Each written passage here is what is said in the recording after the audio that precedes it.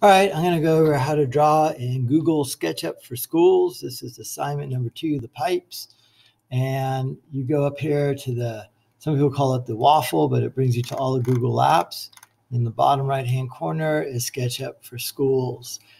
Um, you want to sign in with your Google account. This is a free product if your school has a Google Suite. And then the way you start any project is you want to create new and because we're in the US, we're going to use feet and inches. And then I also title it at the same time. So I title it with your name and assignment number two. And then you want to save it in your drive and then you could upload it. Um, okay, so that's the first step. And then now what we're going to do oh, and then save it in whatever folder you want. And then what you're going to do here is this is your y-axis, your x-axis in red, and your z-axis in blue. You always want to kind of hold down the roller mouse and move around and make sure you're drawing in the right plane. So sometimes I like to look a little more forward on if I want to draw flat this way and extrude backwards into green. So the first thing I'm going to do is over here, my create geometry tools. I want to create a circle. I am actually just going to click one time right there and pull the mouse out. And I'm not holding down the click button. I'm going to draw a two foot circle, two foot radius, and you can see it in the bottom right hand corner. I'm going to hit enter, and there's my circle. And I can see I drew it on that front red plane also because um, this circle around my pencil had been green to extrude it back out. So with the roller mouse down, I could change my orientations and see where it is. Okay, I've created that 2D object. I want to manipulate that object. So I come over here to push pull. This is an extrusion button. I click on the surface I want to extrude. I want to push it back. And then I'm going to type in 20 feet, enter, and then there's my pipe. Escape is a really good key to take you out of that operation, and Control Z brings you um, back in operation. Next thing I'm going to do is I'm going to manipulate existing geometry. So that's going to be under this button here. And what I want to do is create an offset. And I want to offset that circle and pull it in three inches. Get in the bottom right hand corner and hit enter. Done that operation, I hit escape. I'm going to go back to that manipulate geometry, hit the extrude button, click on this face, draw it back, and go back 20 feet. So there's my pipe to my selection tool. I'm going to move it around a little bit. So that all looks good. It's kind of hanging out in midair, so I don't want that.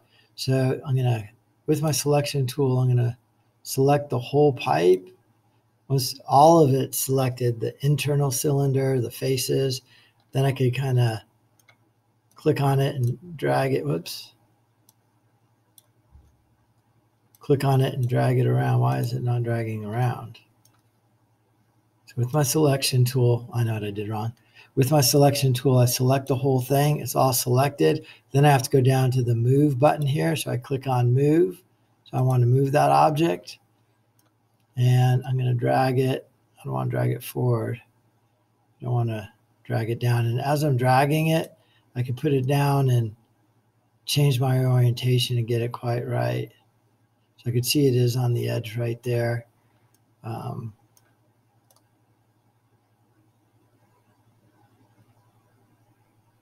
so now it's on the blue axis. And then now that I have it in the place I want, I hit escape back to my selection tool, hold down my roller mouse, and I could look at my pipe. So that all looks pretty good.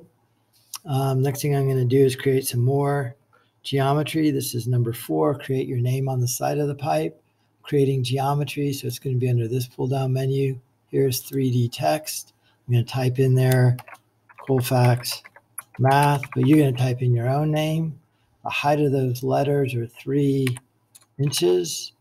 And we're not going to extrude it at all. We're just going to write it on the surface. So zero, okay. And that on the side of the pipe right there. See the box around it? when I hit escape, it'll take me out of that operation. So there's my pipe. After I've done that, I want to make a copy of that pipe and put it to the side. It's going to be the exact same way as I moved it around. The only difference is I'm going to hold down the control button. So if you can't select it, you know, change your orientation a little bit. I'm going to hit my selection tool, copy that whole pipe. It's all selected. I go over here to the move. I'm going to use a move. I'm going to hold control down. I'm going to grab that and I'm going to pull it over. And I want to make sure it stays on the red axis. So like that. And then I'm going to enter in four foot six inches. Enter. It's copied it, moved it over four foot six inches. Now I'm going to type in X14 because I want to make 14 copies of them. Again, I'm going to hit escape to get out of that operation. Here's my selection tool. I could use a roller in the middle of the mouse to zoom in and out. And those are all of the pipes there. So hopefully that made sense in creating it. And now we're just going to move the pipes around to work on selecting. This can, this can get a little irritating. I've been playing with this quite a bit. Um, and the one thing I kind of discovered is the, the best way to select these things is to get just the right orientation. So I'm going to kind of tip them up and vertical. And I want to take the six, seven, eight, these four pipes here. So this pipe, so I'm going to select my selection tool. I don't, whoops, escape out of there. My selection tool, one, two, three, four, five. I'm going to grab these four pipes here. Now that I grabbed them, I'm going to go over to the move. I'm going to grab, I'm going to change my orientation by holding down the roller mouse. I'm going to grab these pipes and stack them on top there. And then holding the roller mouse down, I could see uh, that's pretty good stack. They're not quite on there, so that's good. I'm going to hit escape. Using the roller mouse down, I'm going to try and get those vertical so I could select them kind of easily. I'm going to take three more and stack those on. Here's my select tool. I'm going to grab these three. Then I go back over here to the move, change my orientation a little bit. I'm going to grab these three now and stack these on.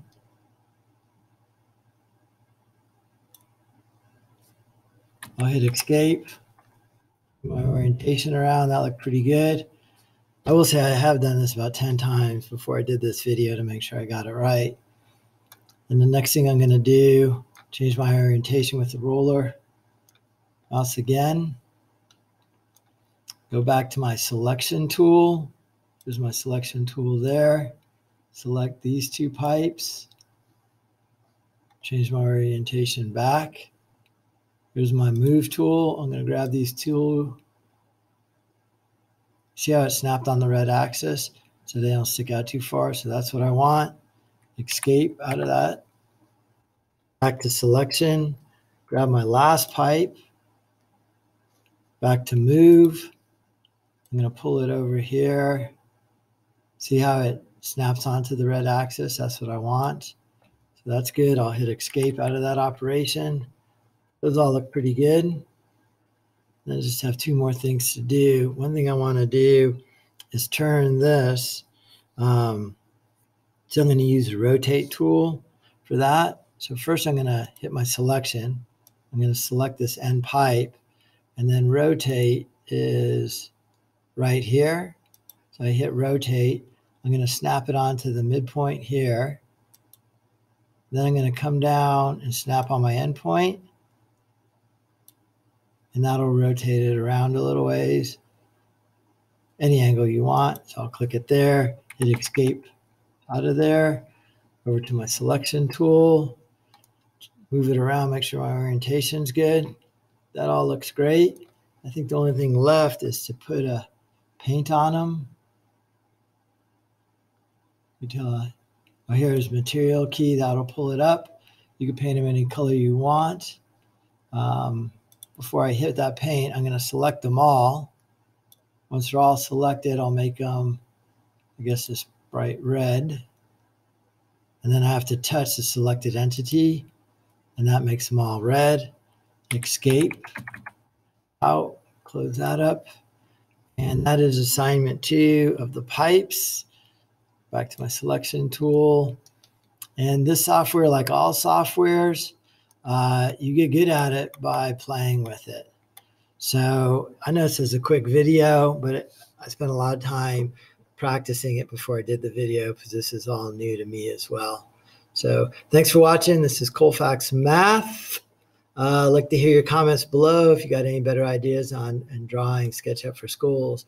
I'm actually starting to like the software quite a bit. So